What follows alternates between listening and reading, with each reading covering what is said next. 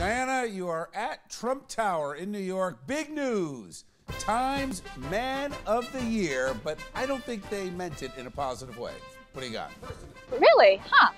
Well, Bill, that's right. Take a look at this Time Magazine's Person of the Year.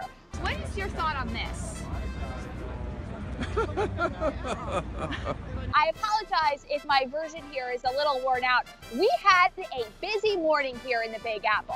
Uh, influence of the year, fraud of the year, fool of the year. a lot of options there. Some were speechless. I want to get your reaction to something first. Okay.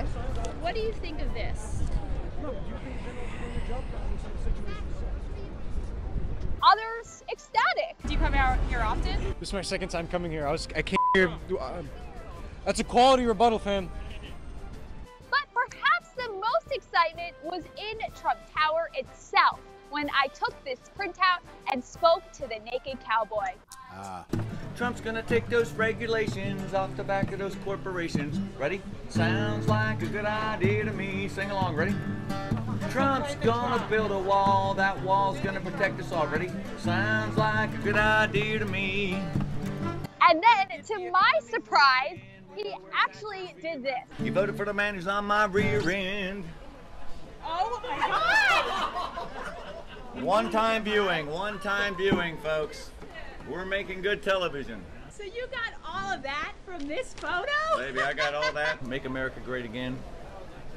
My best friend. I, I oh was shocked. And so when I say Trump Tower is a circus, I mean it. I am not kidding. At least downstairs, that is. Upstairs, uh, President-elect Trump is continuing his very professional transition meetings to decide who will be in his cabinet. We saw Chicago Mayor Rahm Emanuel make his way up to the Trump Tower. He stopped and spoke to the press for a little bit. But then in New Jersey, Governor Christie, we continue to see that he's not really making his way here to New York City. He is in Bellevue, New Jersey today for a roundtable on addiction. Now, the news with Christie today is that his tax returns came out, and it turns out they made just shy of a million dollars. So they had a pretty good year, it seems. Uh, Mary Pat Christie, of course, was the breadwinner, making the majority of that. So, Donald Trump, Person of the Year. What do you think? Does anyone think that Usually- Time Magazine's Person of the Year is relevant anymore? The Time Magazine cover, uh, they all have always, or at least in recent history, picked the president elect as their person of the year. The difference here is they're mocking him. I mean, it's like, you know, the whole thing is just a game. I think to Alex's original point, I don't know that it's that relevant. I'm curious as to whether or not the president elect is going to tweet about it and say, hey, it's a pretty good thing. I don't know. He said it was an incredible honor and a statement. So. Yeah. Thanks.